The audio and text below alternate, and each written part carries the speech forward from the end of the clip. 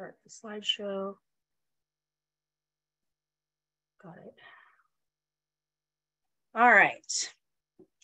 So thank you so much for the invitation today. I was so excited. Uh, I recently moved back, well, not recently, a few years now. I moved back to Colorado where I'm originally from. Uh, and yes, so I did my PhD at the University of Maryland, uh, graduated in 2018. And I'm teaching at Colorado State University, and I just absolutely love it. I get to teach things like insect identification and general entomology. Uh, but I still uh, have a great love for gall wasps. They are uh, probably some of my favorite insects in the whole world.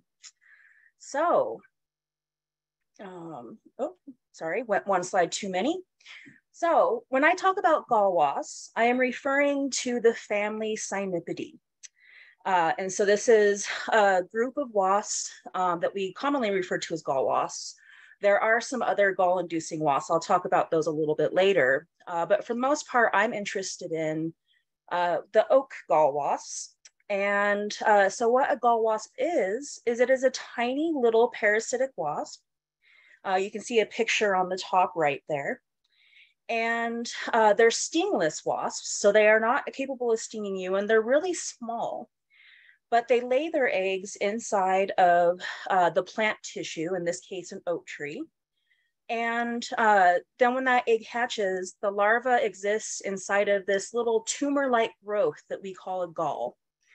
And I say tumor-like because uh, it's something that the tree can't control but uh, it's unlike a tumor in that these tissues are actually very specialized. And we'll talk about the specialization of these tissues in a moment. But so in that case, it's kind of unlike a tumor, uh, but I say tumor-like just because it's something that the tree cannot control. And uh, so they live inside of this gall structure uh, throughout their development. Once they finish their development, uh, they chew their, they pupate and then they chew their way out of the gall once they emerge as an adult and then they start the whole cycle over again.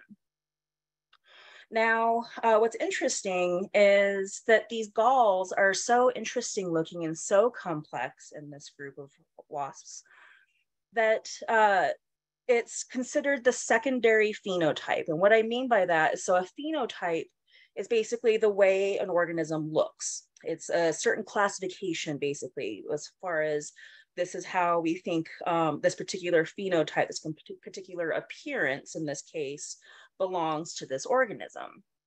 And the galls are so unique looking that is considered the extension of the wasp itself.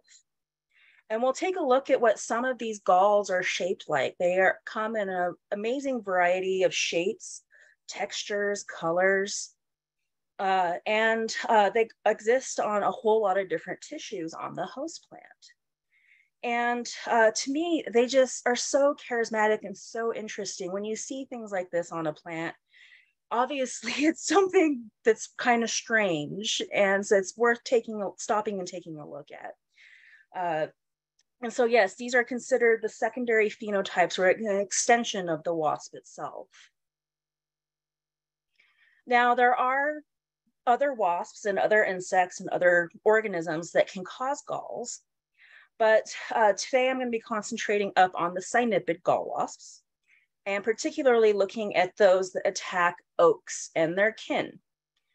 However, there are also cynipid gall wasps that attack roses um, and other uh, shrubs. And then there's some that attack herbaceous plants as well.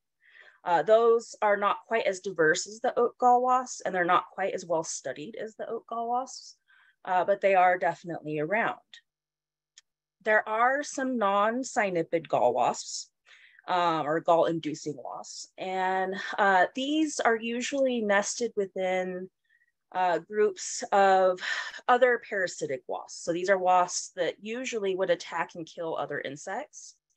But then like one group or two groups here and there um, evolved the ability um, to induce galls. And these groups usually attack different trees and uh, trees and shrubs. Now, another huge group of gall makers are gall flies.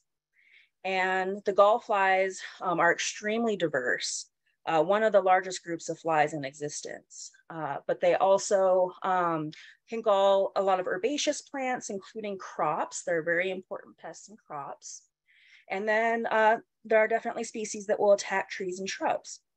So it's a very diverse group. And then there are other gall makers, such as fungi and bacteria and nematodes. And then there's a few other groups of insects, um, some of the true bugs, uh, and then some of the moths as well will also occasionally induce galls. So this has evolved multiple times uh, within insects.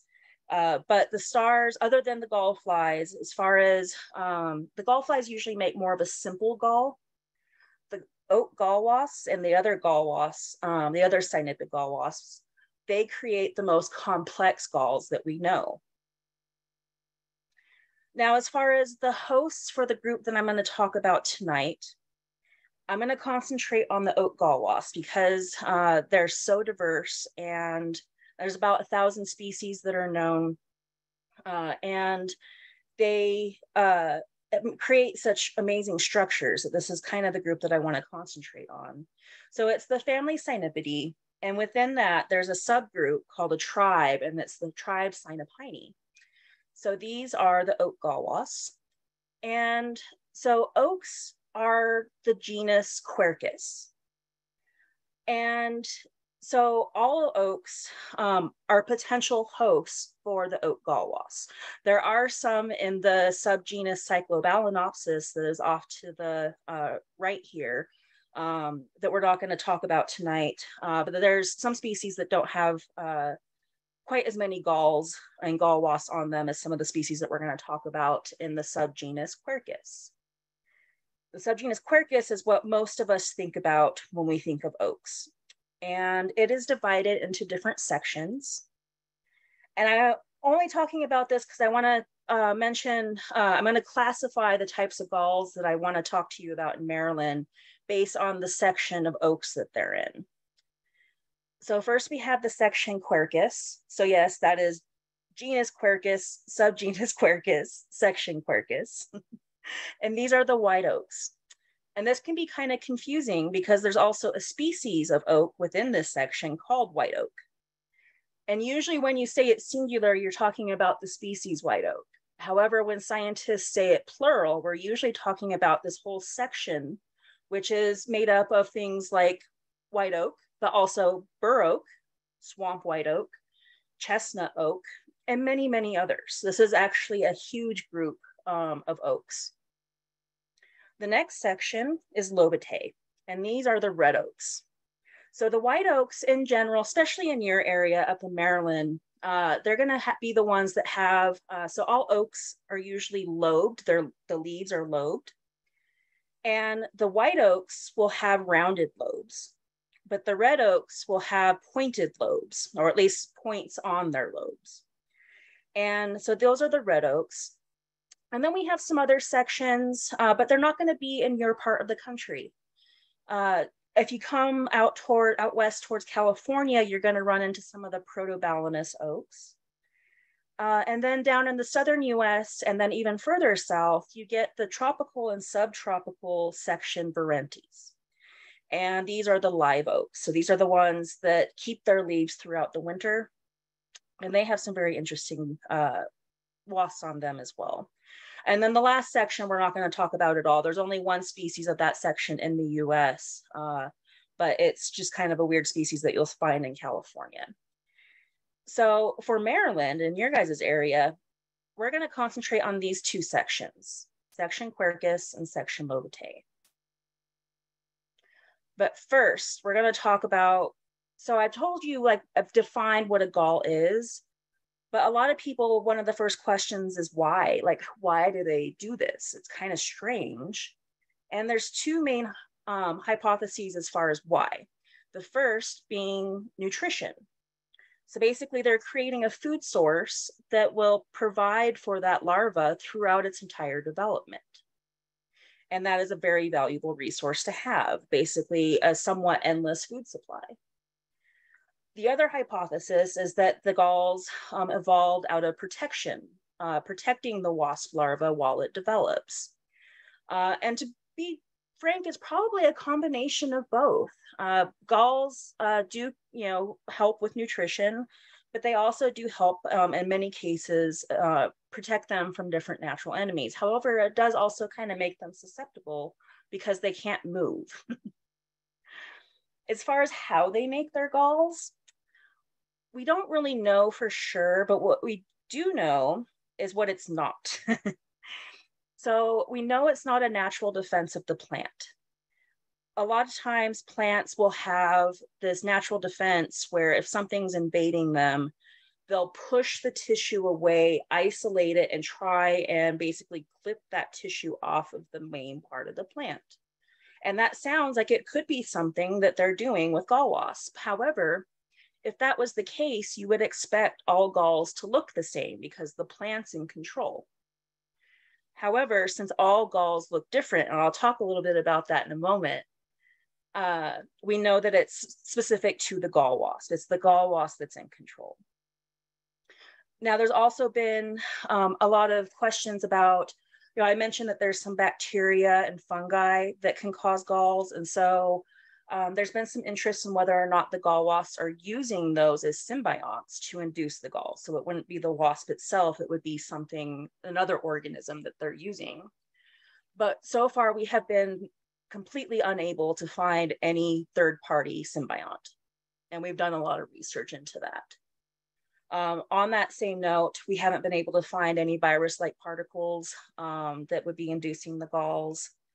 And another thing that they've looked at is whether or not the gall wasp can create plant hormones. And no, so far we haven't seen that. But I'll talk about, uh, so what we, you know, in addition to that, we don't really know exactly how they're doing this. However, we do have some theories about how in, um, the galls are being induced. So we know that the gall wasp larvae are secreting these proteins out into the plant tissue around them.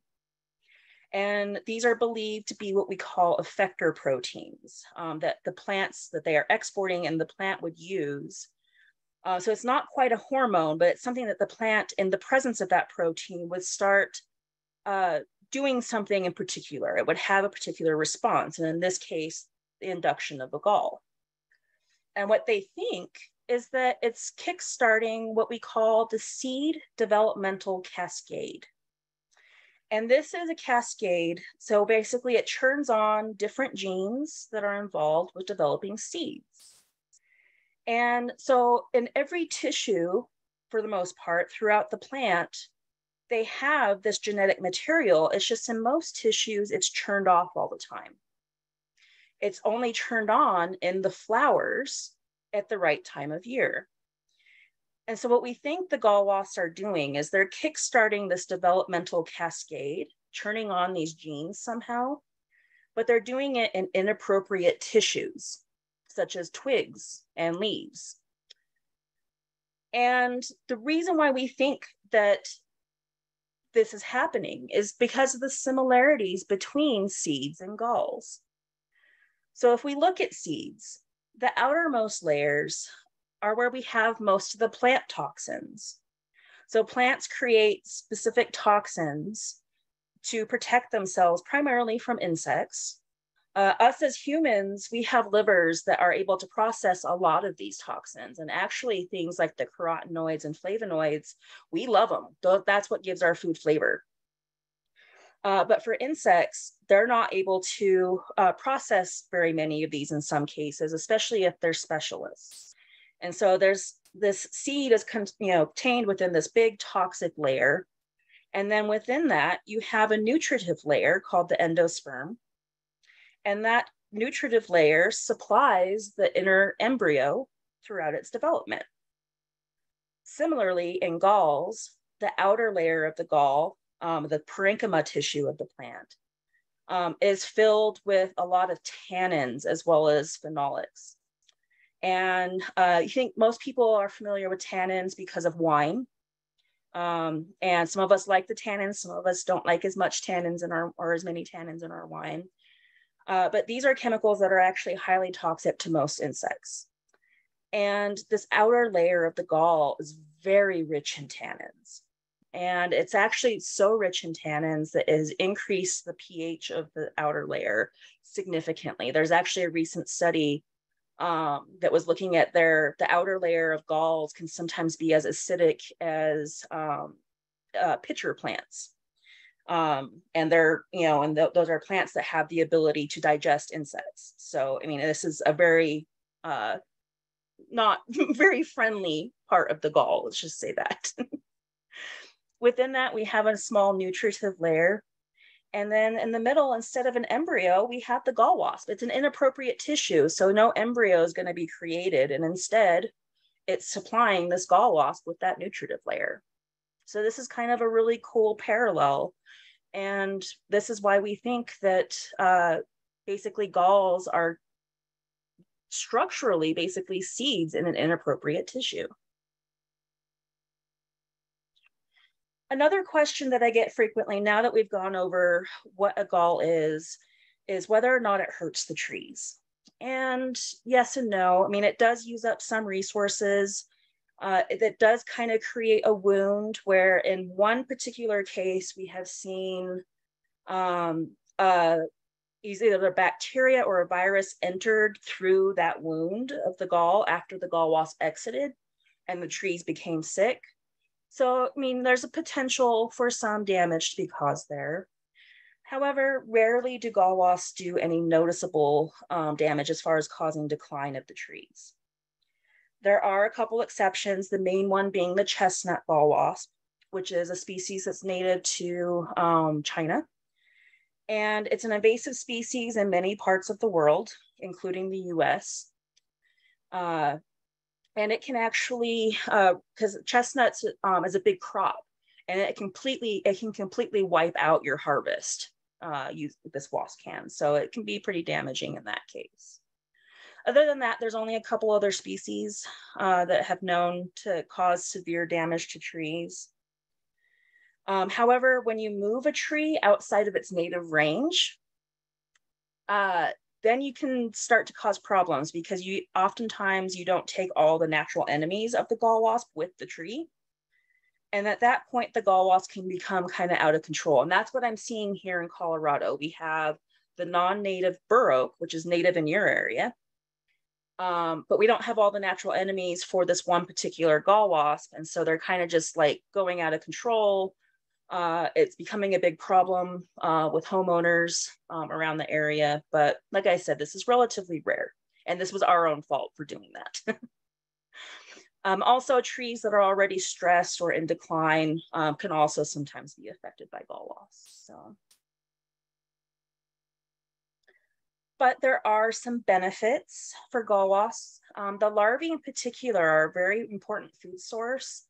Uh, I love watching squirrels just go and pluck the galls and rip them open and get the little larva out from the inside. Uh, woodpeckers love galls, uh, especially the woody twig galls. Uh, and then also some galls are able to secrete a su uh, sugary secretion from the sur surface of the gall. And there's a whole wide variety of insects, including ants, that harvest these secretions and it's actually a mutualism with ants because then the ants protect the galls because it's their food source. And it is a very interesting relationship between those gall wasps and those ants. And then once the gall wasp leaves the gall, when it becomes an adult and it chews its way out, uh, that abandoned gall, if it's the type that remains on the tree, um, it can become a shelter for a lot of different organisms uh, down in Texas, there's a certain ant species that actually create their nests inside of used galls. It's interesting because if you go and collect, I sometimes I collect old used galls that there's nothing inside of anymore. Um, but in Texas, I learned you have to kind of give them a little bit of a tap first um, and wait for the ants to come out. uh, because, yeah, there's definitely a lot of ants inside some of those large galls in Texas. Um, and then also just other benefits as far as our uses for them. Throughout history, we've used galls, uh, particularly to make ink.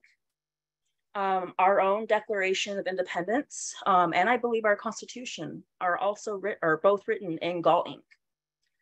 Um, and then also because of the high level of tannins in the galls, um, you can use that for tanning leather. That's actually where they got the term from.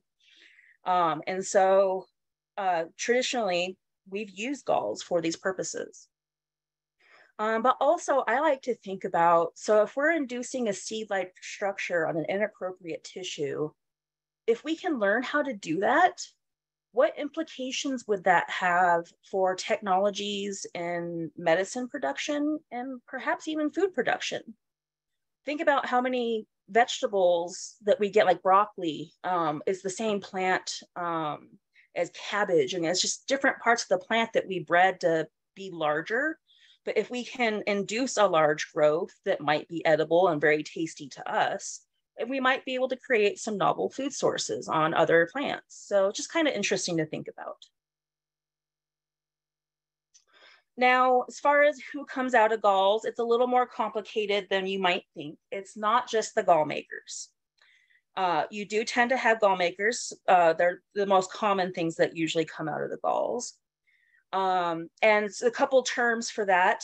Um, if it's one wasp that comes out of a single gall, then it's called a monothalamous gall. Um, otherwise, if you get multiple wasps that come out of a single gall, you'll call that a polythalamous gall. And so you can get one or many gall wasps out of a gall. And then uh, also there are gall wasps called inquilines. And these are really funky little wasps that have uh, lost the ability to induce their own galls, but still need them for their development. So they lay their eggs inside the galls of other gall wasps, usually actually killing the initial gall maker. Um, but as long as the gall was induced, the inquiline gall wasp is happy living there. and then there's also parasitoid wasps so these are parasitic wasps that attack and kill other insects. And there's a whole group of them that are concentrated and specialized on gall wasps. And so um, on the right, I kind of have those pictures, you know, the gall wasp at the top, inquiline in the middle, and then the parasitoid, the beautiful metallic parasitoid at the bottom. And one thing that's interesting is that you can have parasitoids that would attack either the gall inducer or the inquiline. And technically, you also have what we call hyperparasitoids that attack the parasitoids that attack the galls or the gall makers. So you can get a whole lot of diversity out of a single gall. It is amazing. Um, and sometimes those parasitoids, even if there was only one gall maker, sometimes you can get multiple parasitoids because they lay multiple eggs. So um, very interesting as far as what we can get out of galls. So already you can kind of see galls are becoming this really complex system um, involving many organisms. And uh, that's one of the reasons why I'm so drawn to the system. So the life cycle of gall wasps is really important, um, particularly for what you're looking at um, when you're looking at the gall. You have to kind of look at what time of year it is, um, and whatnot. So this species that's in this picture uh, is on bur oak. So you'll find this in your area. This is Distelkaspis quercus mama. And it creates this little woody round twig gall that you see on the left. And then the wasp that comes out of it is shown at the top. You'll find these throughout the summer developing and then they emerge in the fall. And they're only females. There are only female wasps that come out of these galls and they're they reproduce asexually, so without any sort of fertilization. And they just immediately go and start ovipositing or laying their eggs inside of dormant buds. Um, and they'll stay in those buds throughout the winter. And for probably almost 100 years, well, actually more than 100 years, I think probably close to 115 years, we thought this was what defined that species. Like we thought this was all there was for that species. But during my master's degree, we realized that we were missing half the picture. So while that asexual female laid her egg in that dormant, uh, dormant bud, in the spring, when that bud first starts to open, you find a little kernel, looks like a grain or like a little piece of rice, nestled down in the middle and that's the gall of the sexual reproducing generation that exists in the spring. So this generation, you have both males and females. And it's interesting because like aphids do something similar where they pop out males as often as they need them genetically. But for gall wasps, this is a strict alternation. You get one right after the other. Um, and so in the spring generation, you get these little males and females that come out, they mate. And then the female will go and lay her eggs inside of the newly developing twigs, which then gives rise to the twig gall that we were so familiar with. And so we went so long without knowing this other half of the life cycle. Um, and what's interesting is what this means is that if a particular host plant has 30 species of gall wasp on it, well, that really means that there's probably at least 60 different types of galls because each species of gall wasp is expected to have this alternation. But for most species, we only know half the life cycle. And so this is an area where as you're making observations on oak trees, you could help us discover these sexual generations and help us, you know, link everything together and, you know, say, oh, this wasp over here, you know, is actually the sexual generation for this wasp over here. And so that's an area where you can actually really help. And just, I do want to mention that this uh, 30 species of gall wasp on a you know single species of oak tree, that is not uncommon. That may sound like a lot, but it's really not. Uh, and I'll explain to you why and how we can have this amount, like this just amazing diversity of wasps attacking a single species of oak. Uh, but another thing before I get into that that I wanted to mention that's important about um, the life cycles is that sometimes certain species, um, and particularly one genus, Callirhytis, uh, their different generations use different host plants. So you'll find the fall gall on one species, a host tree, and you'll find the spring gall on a different host species. And it's very hard for us to, I mean, without genetic tools, there's really no way for us to link this all together. It's just too complex. And so um, and we need help finding specimens. um, and this is just, yeah, very complex system. So as far as how we can get so much diversity of gall wasps on these oaks, uh, well, most oak gall wasps are very host specific. And what I mean by that is that they can only attack maybe one to a few species of oaks. Now, there are some oak gall wasps that are generalists, oftentimes these are the ones that attack the red oaks. Uh, but there's also another genus, um, Neuroterus, uh, that tends to be more of a generalist. So they can attack maybe like seven different species of oaks. Uh, but most of them, for example, the rough bullet gall wasp um, that I talked about, um, that I did my uh, master's research on, uh, it attacks uh, bur oak, swamp white oak, and overcup oak. Um, and so at the bottom, those are the leaves that are highlighted in purple.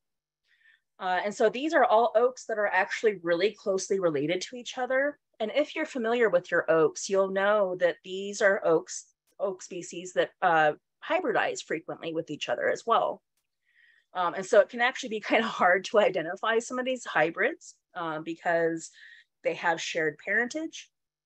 Um, but what's interesting is uh, so like how why how do these gall wasps know one species from another and one thing i want to mention is that uh, they are better oak taxonomists and better oak identifiers than we are oaks are particularly hard because of the hybridization um, to identify however each oak species has a specific chemical cocktail of all of those tannins and phenolics. And so it smells and tastes very specific, very different from everything around it. And that those oak gall wasps, they have these uh, organs, these chemoreceptors that can pick up on those chemical cues. And so when you get something, if you get a gall wasp that normally attacks white oak, Quercus alba, and we've started hybridizing English oak, with that oak to create um, horticultural oaks. Uh, up until recently, we haven't seen gall wasps attacking those hybrids. at least not in this country. They are these North American gall wasps, they smell that, you know, the parentage of the English oak and they're like, what is that? That's not food. And so uh, they are very sensitive to these chemical differences. The other thing with this, so as far as them being host specific, they're also specific to the tissue in which they gall. So I already talked about a twig galler um, that does the twig galls in the summer and fall, and then um, the bud gall in the spring. Well, we have uh, twig galls, we have lots of leaf galls. You can get species that only attack the bottom side of leaves, whereas spe other species only attack the top. Um, you get ones that attack um, the midribs or veins in the leaves and the ones that won't attack those areas. And so they've like divided up all of the oak tissues and basically created all these little ecological roles, which we call niches, um, because they're so specialized. And so there's lots of niches to fill. And that's how we've gotten this huge diversity of gall wasps. And so each oak, um, it's common to see anything between 10 to 40 species of gall wasps on a tree or on a given oak species. Um, and so uh, that can, you know, vary. Some of the ones that have fewer gall wasps on them, I have to kind of wonder if it's mainly because they're not as studied as well. Um, but we definitely can see more than this as well in certain species of oaks. So for you, as naturalists going up, oh, go ahead. There was just one question oh, on that last screen. Why was the one gall hairy? we think that some galls are hairy because uh, for defensive strategies. I mentioned those little parasitoid wasps that are coming to kill all the gall wasps. Well, they have a hard time getting through like hairs and sticky substances. Um, and so these are some of the um, defensive strategies um, that gall wasps can like make their galls do the, these things um, to help protect the developing larva inside. So yeah, it's a defensive thing. Um, and then also sometimes you'll get galls that get really thick walls. And then the only parasitoids that can reach the larva are the ones that have really long ovipositors, which are the part of the body that lay the egg.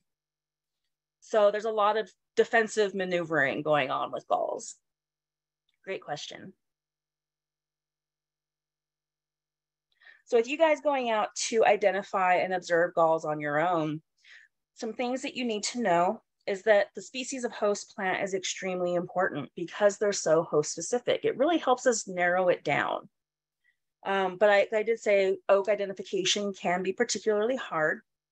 However, the galls are actually one of the easiest parts to identify. So sometimes you can even identify the oak based on the galls that are on it if you're good enough at identifying your galls. Um, and the galls are definitely easier to identify than the wasps themselves.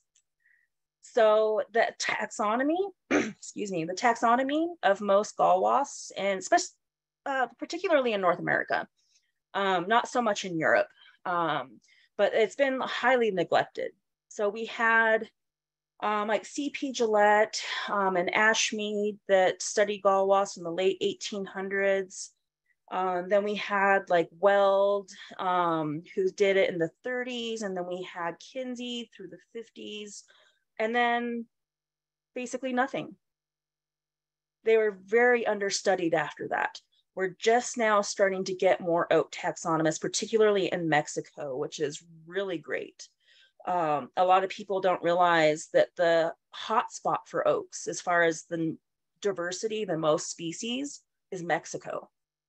And so that's definitely where we're going to see the most gall wasps as well. And so the fact that we have a lot of really excited and enthusiastic researchers coming out of Mexico is really good news. But otherwise, there's going to be some debate over what your goals are. Um, and in some cases, we may not know. And that actually sometimes can be even more exciting. If we can tell you, we don't know what that is, it may be a new species. So take pictures, get them, you know, posted on some of the resources that I'm going to go over um, and you can definitely uh, help participate in science. So I just kind of reduced what was on the upper part of the screen so that I could show you some of these uh, resources. Uh, some of the older ones, I'm not going to go over in too much detail. Uh, these were publications that came out. Uh, Weld in 1959 um, is probably the most comprehensive resource. Um, he published this paper uh, as a monograph of cynipid galls of the Eastern US. He also has other monographs of the other parts of the US. Uh, but this, you searched by host plant. And then once you're looking at your host plant, you looked at the tissue type and it told you all the species of galls or gall wasps that he found on that host plant. So it was really comprehensive. Uh, Felt from 1940 um, was also an excellent resource, um, but both of those are pretty out of date. And so now what we're looking at um, is things like iNaturalist and a website called Gallformers.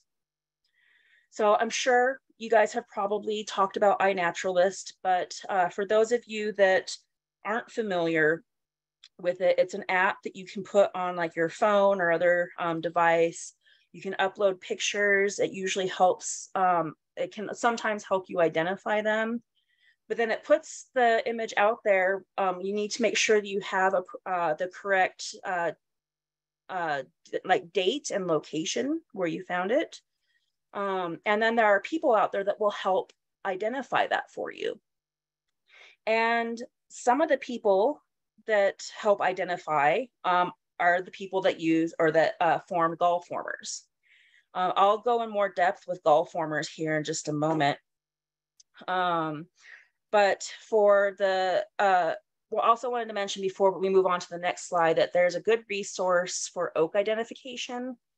It is also somewhat out of date at this point, but efloras.org uh, has a pretty good key and a lot of pictures for helping identify oaks. All right, so with iNaturalist, um, so there's a whole section for oak gall wasps.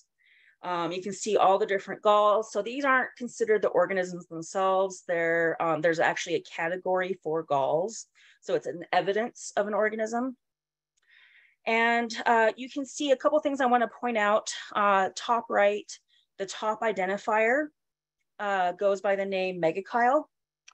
And uh, so he's one of the co-founders of the next resource, which is golf, um, uh, sorry, gallformers.org. Um, and so he spends a lot of time on iNaturalist identifying different oak galls uh, primarily so that we can not only have pictures of all the galls, uh, which we don't have currently, uh, but we also will get uh, information and data as far as when these galls are present in different parts of the country. Uh, so the graph that's underneath there kind of shows you that there's two peaks as far as when you observe galls. Uh, the big one is in the fall and summer. Uh, and so those are usually the more conspicuous galls as far as being more obvious um, and then in the spring, remember that little tiny grain gall that was in that bud? A lot of the spring galls are uh, what we call cryptic, like that. And so crypsis is when it kind of blends in with the surroundings. And so a cryptic gall is kind of hard to tell the difference between it and the normal plant tissues. Um, and so a lot of the galls in the spring tend to be cryptic um, galls. Now for Gallformers, so if you go to gallformers.org, you'll be on the homepage and you can explore this on your own. Um, I just realized I meant to, I mean, I have to change the way that I shared my screen because I actually wanted to show you this website. Uh, but you can uh, identify galls. Actually, I'm kind of running a little bit late on time, so I won't show you the website too much. Maybe if we have time at the end, because um, I want to go through pictures of galls. But basically you can search on the host plant through species name or common name. Um, and it will bring up pictures and names of every gall maker that attacks that host plant. And it's not just oak galls. They have um, galls for a lot of different plants on here. And uh, so when you're going to identify your galls, this is going to be an excellent resource for you. Um, I wish I had done a picture. Maybe afterwards we can show a little bit of what this website looks like. Uh, but most of the pictures I'm going to show you from here on out are from their website. So I can kind of show you what this looks like. But they also have a glossary there. So if there's any terms that you don't know uh, what you're looking at, um, I already kind of told you monothalamous and polythalamous being galls that have either one or many gall wasps that come out of them. Um, so there's other terms like that in the glossary. But uh, so I want to talk to you first about some of the galls, my favorite galls in your area. I'm going to concentrate first on those on the white oaks, uh, which is the section Quercus. Uh, I already talked um, to you a little bit about this one, the rough bullet gall wasp, uh, quercusmamma. So the name quercusmamma uh, comes from the first part of it, Quercus is oak, and mama means breast. And so basically what this is, is this is a round, almost kind of like spherical gall, but then it has a little point or what we call a nipple on it. So yes, some oaks do have nipples, uh, but these galls, so it's basically oak breast. uh, and a lot of um, oak gall names will have quercus as the beginning part um, or ending part uh, with some sort of attachment on this. Um, and so these guys create uh, detachable woody twig galls. So you can actually kind of pluck these galls off of the stems. Um, and you'll see these developing through the summer um, and then they mature in the fall. And by mature, I mean they turn brown and woody.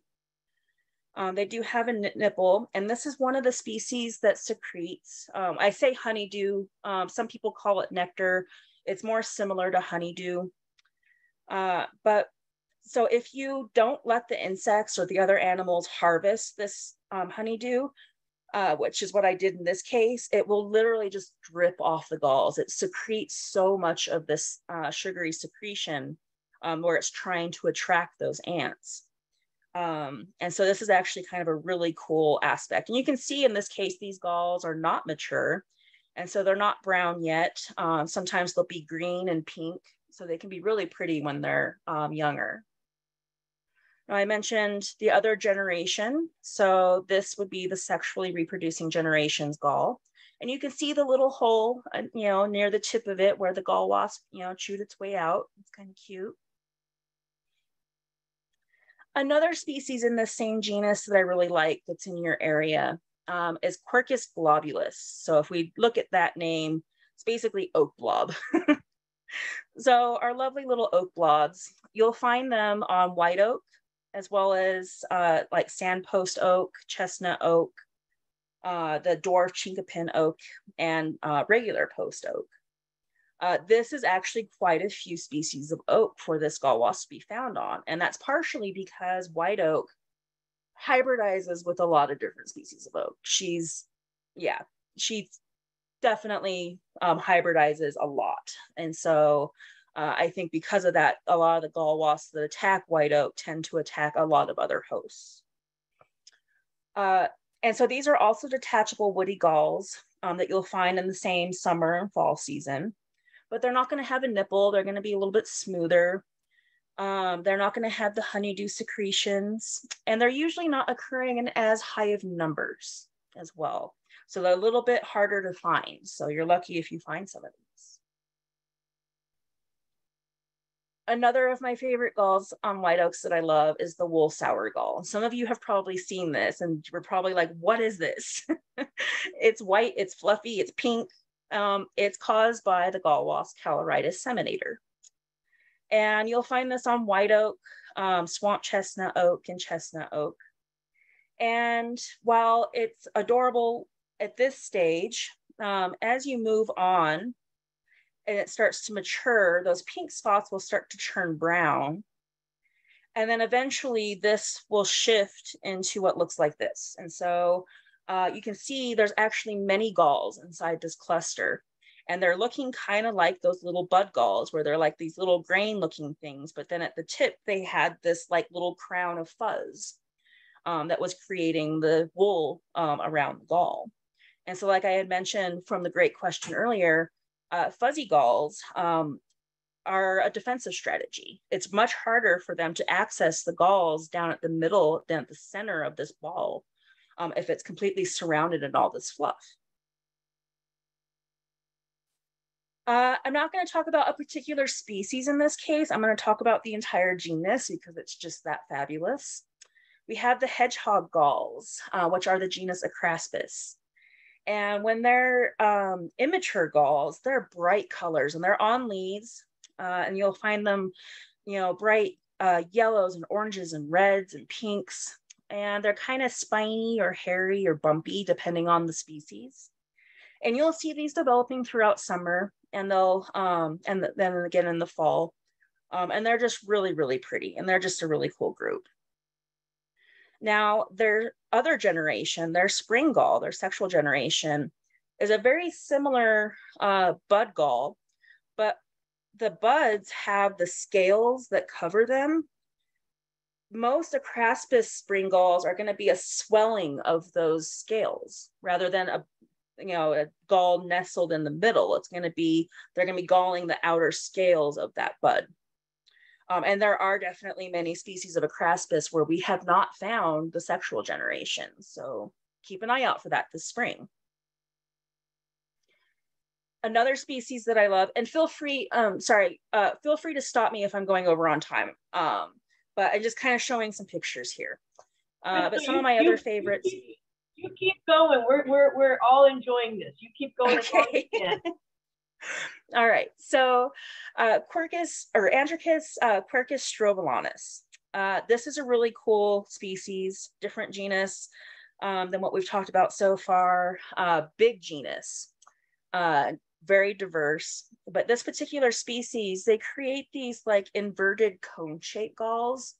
So it's the tip, the pointy part of the gall that is attached, and it's just kind of got this middle point and all these galls radiating from that point. And when they're developing, they can be uh, pinks, purples, you know, tans, yellows, oranges, uh, very, very pretty. And then they mature in the fall, uh, and uh, that's when the gall wasp will emerge. Now, another genus that I really like is Phylloteras. And so this is one species of this genus that I really like. And they create what we call cup-shaped galls. So they're kind of cylindrical, but then they are hollow in the middle. Very interesting morphology or like appearance for these galls. And I just kind of wanted to show you. So you're going to find those on bur oak and swamp white oak. Uh, and then uh, the next is also another Phylloteras species. But these ones kind of create these little like what we call spangle or button galls. So like little discs. Uh, and you'll find these on the underside of leaves of like uh, white oak and chestnut oak and bur oak. Uh, this is the asexual generation of this species, um, and you'll find it on the underside of leaves, and they're oftentimes pink or purple, really pretty. On, uh, so some of these species are gonna be more in the South um, and kind of central US, uh, but like post oak, Quercus stellata, um, and then also uh, Quercus muhlenbergii, uh, you'll find in your area. Uh, these galls uh, from Andricus lustrans, um, they're clustered together. They're kind of cylindrical or sub-cylindrical, um, but they're very interesting looking on leaves. Um, one thing I wanted to mention with this is that we have these galls in museum collections found as far north as New York, but on iNaturalist, we have seen absolutely no records of this species. So we think that they've gone through a possible reduction in range. Even with post oak still existing farther up north, we can't find it anywhere except for down in like the Texas area. So be on the lookout for the species. If you find this, that will be big news. And then another one of my favorite groups, the genus Atrusca. Uh, they create these big cylindrical, or not cylindrical, uh, uh, sorry, big round, completely spherical uh, galls, oftentimes spotted. The reason why I think they're so cool is that when they mature, for the most part, they're hollow on the inside, except they have these really thin little spindle-like hairs that are suspending the larval cell in the middle of the gall. This is another defensive strategy try and reach me if you can. so this is kind of a really cool way that this particular genus um, has uh, basically evaded many of its natural enemies. And you're going to find this particular species of Atrusca gall um, on post oak, but you'll find other species of Atrusca on other hosts as well. I wanted to mention the genus uh, Trigonaspis as well. Uh, they're going to have very similar galls to the last genus, but they're going to be a little bit smaller. Um, and so these are probably going to be, uh, their radius is going to be less than like a, the size of a quarter, US quarter. Um, whereas the other ones could be a little bit larger. Uh, but this species, you can see they can, you know, there's a leaf gall um, and they can occur in quite high numbers, but they're quite pretty and they actually almost look like tasty, I want to say, but I don't suggest eating them. Uh, but they will also have those radiating spindles on the inside. I did want to mention um, at least one flower gall. So on the catkins that you'll see this spring, check out those catkins because if you see these little swellings, they're galls. Um, so this is just one of the species that you'll find um, galling flowers. And then more fuzzy galls, another uh, genus, Neuroterus, big genus. This genus tends to be, uh, they're more generalized. Um, so they'll attack more species than most gall wasps. Uh, but a lot of them will cause little tiny fuzzy galls. And these are very small gall wasps. And so you'll see this particular species, uh, Neuroterus quercus verrucum, um, on the underside of leaves, uh, both in the summer and fall. Uh, and oftentimes they cause the leaf to kind of deform and curl around them. So check out deformed leaves. You might find some galls there. Now, I do not specialize on galls and red oaks, but I did kind of want to mention some of my favorites.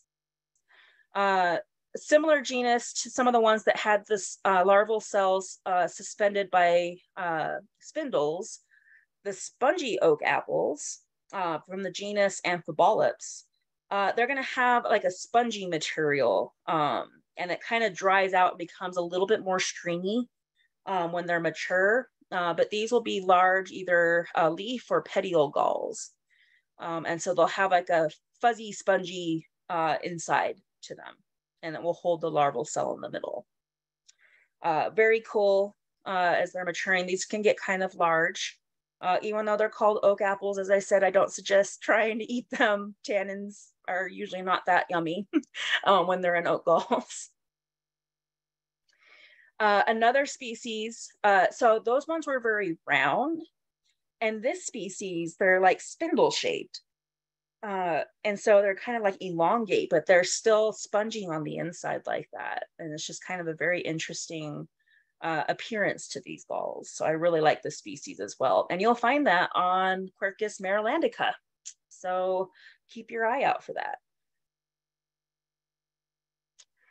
Uh, this gall is very interesting.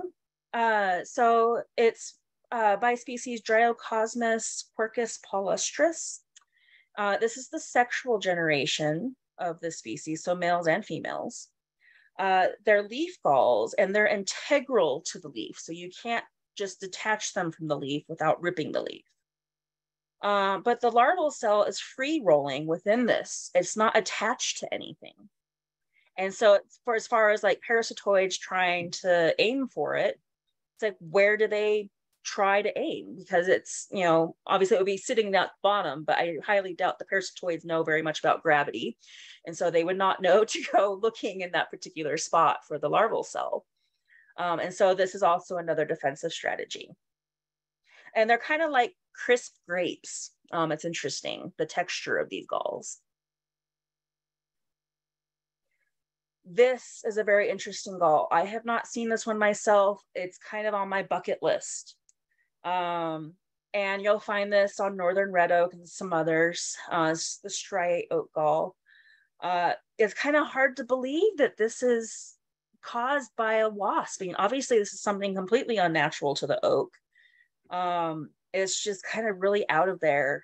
Um, it's just very interesting looking and it can be a large variety of colors when it's uh, still immature as well. Very cool gall. Some more fuzzy galls from the genus Callirhytis. Uh, so these are some woolly leaf galls that you'll find in the summer and fall on the red oaks. Um, something, some of the species that you'll find on the white oaks that are fuzzy are usually on the underside of leaves. Um, these ones can be on the upper sides of leaves as well.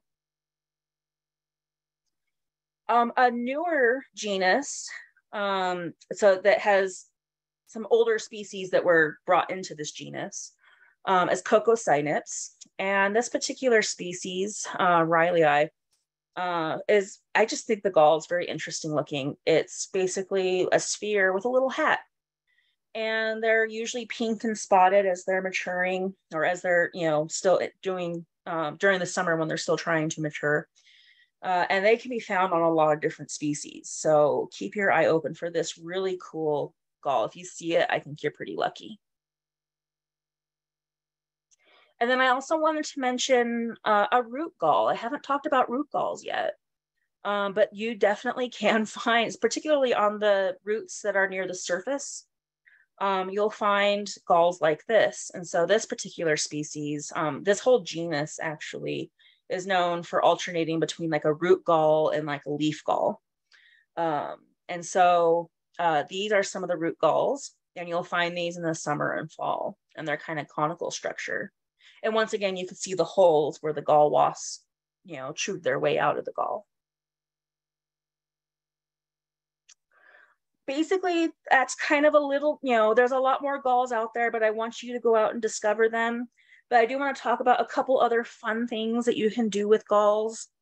Um, I'm just a little bit of a bug nerd and I take it a little too seriously. So I do a lot of crafting involving insects and insect products. So I love galls. Um, I'm pretty much always wearing a gall necklace. Um, I've also made collages out of galls. These, this one uh, is about two feet by four feet, and it uh, contains galls from five different species of gall wasps that I studied during my PhD. Uh, and so um, obviously there's a lot more diversity than the woody twig galls. So you can make some really pretty uh, collages uh, using galls. But also I mentioned dyes um, and inks and I've played around with those. The purple on this scarf was actually from cochineal, which is a type of insect, a scale insect that we get red dyes from. Um, but then the gray that's uh, striping that, uh, that is from oak galls. And I made that dye in a similar way to how you make ink. Uh, and I've also, I do a lot with ink. Um, and then just kind of as a joke, uh, I did this little art project with the entomology club here at Colorado State University. We made a gall wasps, a nice little pun for you there. So we made wasps out of galls. Um, but you'll notice on the picture to the left, uh, the markings on the center part, uh, that was with gall ink. And we did the markings that were specific to that genus of gall wasp. so we made it a little bit scientific. But all right, so, well, go find some galls. Um, this little video here at the bottom, I'm just gonna uh, mute it. Um, uh, if you guys have any questions, I will take questions. Uh, the galls that you see hopping around at your bottom of your screen, those are uh, from the genus Neuroterus.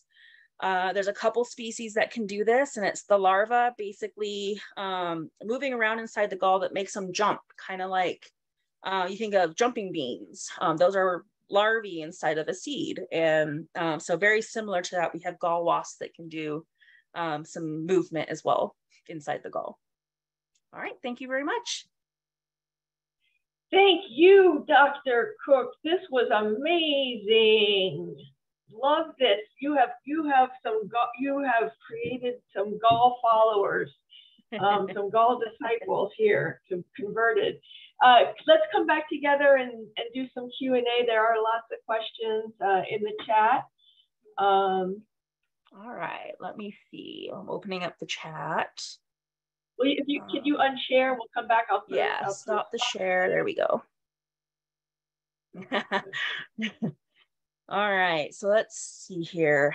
Uh, let me scroll so up a little way, bit. Way, yeah, so way back in, um, some people ask that they look like a little. Some of them look like fungi, and is could that be a defensive mechanism to look like fun, fun fungi, or and there was Possibly. also a question about the coloration. Was the red color is also a defensive mechanism? Yes, that's called aposematic coloration. And normally with aposematic coloration, it's the organism themselves that's colored. And so this is actually a very interesting case where they have extended that aposematic coloration to their extended phenotype. And it's very interesting. And there have been some really cool studies that have looked at that. So it's definitely a warning that the gall is toxic. Yeah. And uh, we wanted to know uh, about where are the chemoreceptors located on the wasp body? How do they how do they figure that out? So um, they will, most of them are going to be on the antennae. Some of them are going to be on the mouth parts. And then usually a lot of wasps, especially the parasitic wasp, will have um, a, some chemoreceptors on the tip of their ovipositor, which is the part of the body that they use to lay eggs. And that's usually to let them know once they've hit gold. So uh, yeah, and then they have other different types of receptors all over their body as well. Um, but those are the main areas for chemoreceptors. Um, Nala was asking about the ethics and scientific value of dissecting a gall to take pictures of it for the iNaturalist post. Do you have to do that or? Um... You don't have to open the gall. Um, so usually just taking a picture of the gall itself, maybe also getting like a picture of the leaves um, to kind of help with the, identifying the host plant is usually all we need. Um, the wasp larva usually isn't um, really that important for us or really that useful, except for maybe as a, you know, for DNA. Uh, usually what we want for scientific research would be the adult. So we actually collect the galls and then we rear out the adults. Um, you don't necessarily have to do that if you're if you want to do that. You can definitely contact some researchers. Uh, even just putting your pictures up on iNaturalist, some of them will contact you um, if you find something interesting enough. So uh, wanting to know if you're willing to collect those wasps for them or the galls and send them the galls. Uh, as far as the ethics behind, um, like, you know, if you do open a gall before the gall wasp has emerged, um, in most cases, it will end up killing that gall wasp. But you think about the number of galls you have over a whole tree, we usually don't feel too bad about collecting a few because it's not really harming too much of the population.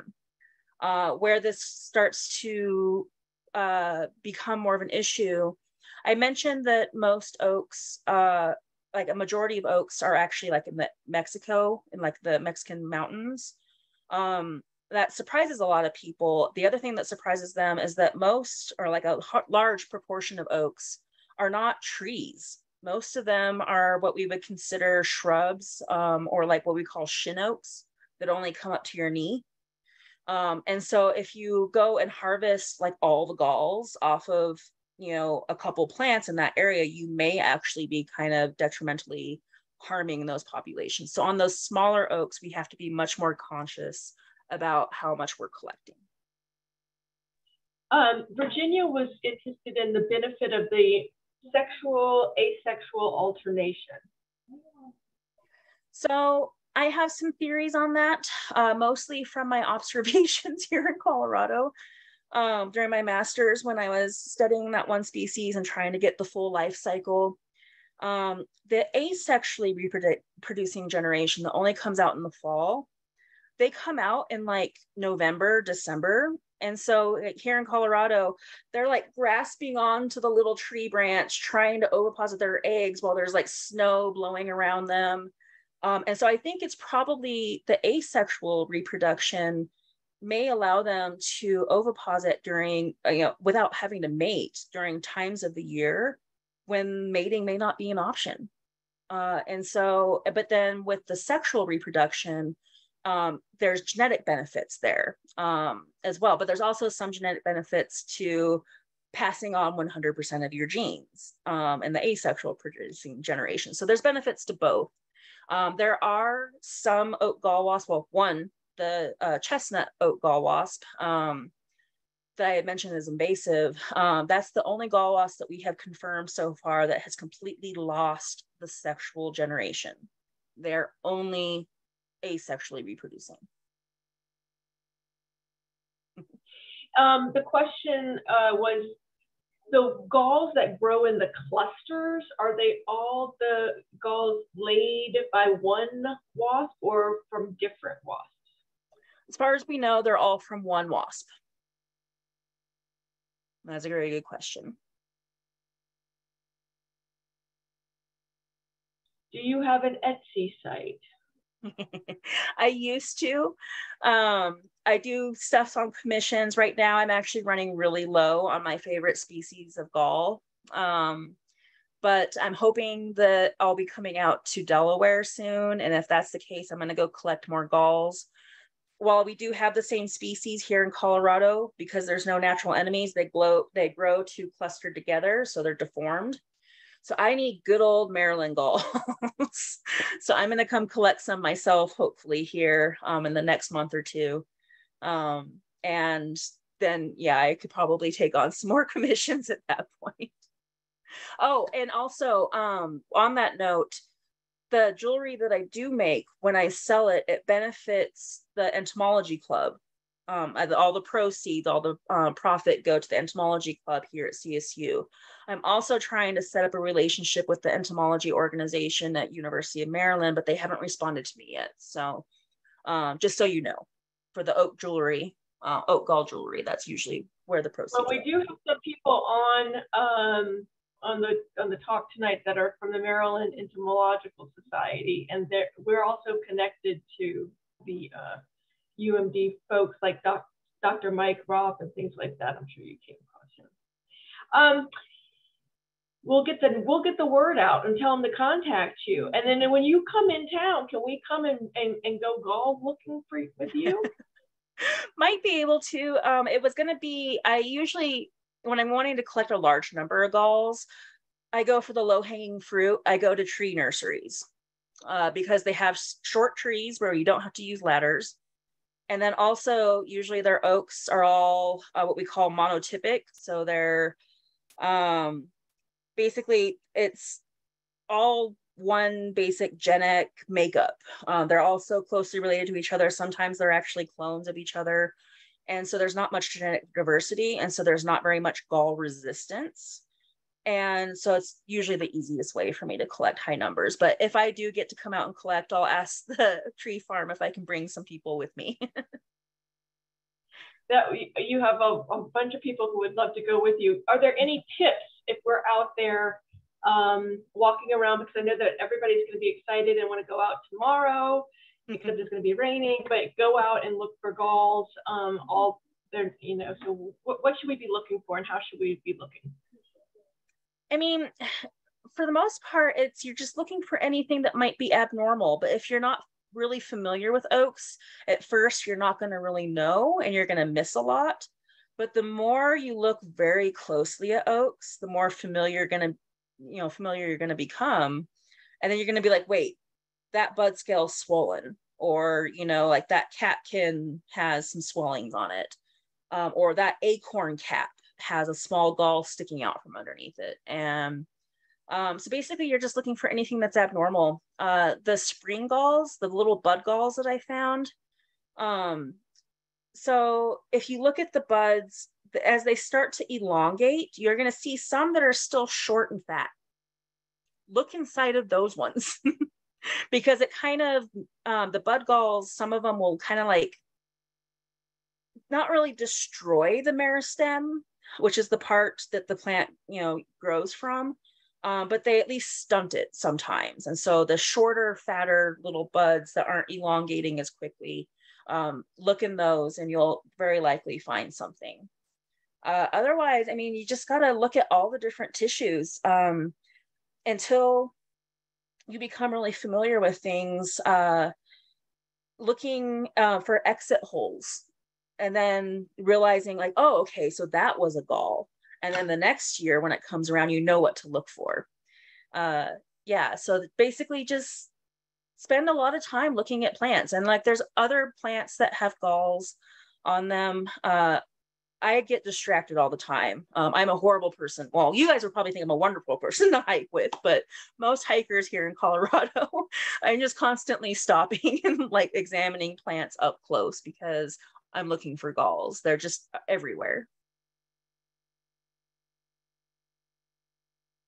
Um, do oaks have the higher abundance of galls than other types of plants? Um, I want to say most likely yes, because of the oak gall wasp. There are also some uh, gall flies that attack oaks as well. Um, but as far as the oak gall wasp, they're most diverse in oaks, the oak gallers. Uh, and so I would think oaks probably have more galls than most things. All right. Any other questions for um, Dr. Cooke tonight? I mean, we're just so excited and and thrilled to have something else to go and search for. your homework all tonight is just go spend more time outside looking. Looking yeah, closely. go to Gallformers. Go to that website. It's really interesting. They're constantly updating it, uh, and I work with them, you know, frequently. Uh, so yeah, it's a really great resource for you guys. Um, Gail asked, did ash trees have galls also? Ash trees. Um, if they do, it would be gall flies. Uh, I'm not positive off the top of my head though. Um, I'm trying to think. I have ash trees on my property, but they're not native here, so they may not have the gall inducers. Um, I haven't noticed any on my trees, but I never really looked at ashes out east. I would look on uh, Gallformers. I bet you it says on there. If you look up uh, Fraxinus, the genus Fraxinus, it'll come up. um, you said that. I just missed it. Um, the flies are pests for crops. What are some crops impacted by galls? Well, for instance, um, there was a new species of gall fly that was found on soybean so we started planting soybean in the US, and um, this fly just appeared. Um, they didn't know what it was, and they weren't really able to find effective controls for it because it was undescribed. I think it took eight years for my colleague Ray Gagne to finally describe the species. And by that point, it was causing severe damage to our soy crops. Um, but there's a lot of gall flies. There's, I think there's some on like cruciferous crops. I mean, they're gall flies, they attack a lot of different types of plants. But the soybeans, the one I know off the top of my head. Any other questions tonight? What I love about it is that there's just so much that we know and so much that we don't know, and it's it's a fascinating subject, and there's the, we can get involved and um, anybody that finds a species, you can name it after me. It's B R O N W Y N. Name your wasp after me. um, thank you so much, Dr. Cooke. This has been fabulous. And please, if you are coming to Delaware or Maryland, let us know um, so you can we can come and play with you in the woods. Sounds good. Thank, you so much for having me. Thanks so much. I'm reading all the lovely comments off to the side. Thank you so much. Thank you. Thank you. Take care, everybody. Stay well, stay curious, stay outside, and start looking for those galls. And let us know if you find any. Bye-bye. All right. Bye.